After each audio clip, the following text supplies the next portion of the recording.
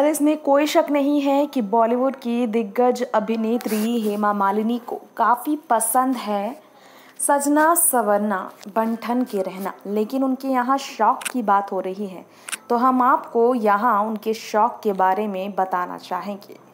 वल वल वल, शौक पूरे करने में पीछे नहीं है। आप सभी की फेवरेट हेमा मालिनी। बहुत अलग और अनोखे हैं उनके शौक़। या हम आपको बताना चाहेंगे, कितना आलिशान है उनका शौक़, कितना महँगा है उनका शौक़।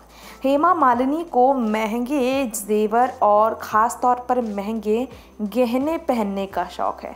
हेमा मालिनी अक्सर ही बहुत महँगे साड़ियाँ में दिखती हैं और उन्होंने जब कांजीवरम साड़ी पहनी तो लोग देखते ही रह गए।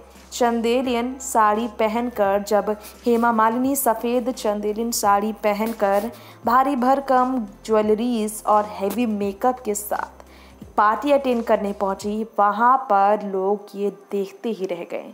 जी हाँ वहाँ पर लोग ये देखते ही रह गए कि हेमा इकहत्तर साल की है। वैसे आप जानते ही हैं कि यहाँ पर बहुत ख़ास है आप सभी की फेवरेट हेमा मालिनी का अंदाज़। लेकिन यहाँ पर हेमा मालिनी के शौक की बात हो रही है तो आपको बता दें, हेमा को सुंदर साड़ियों में खूबसूरत लगने के साथ फिट रहना भी पसंद है। इकहत्तर की उम्र में भी योगा करती हैं हेमा और हेल्दी डाइट साथ में साउथ इंडियन फ़ूड की बहुत बड़ी शौकीन है Hema Malini. Next nine news से तृप्ति की रिपोर्ट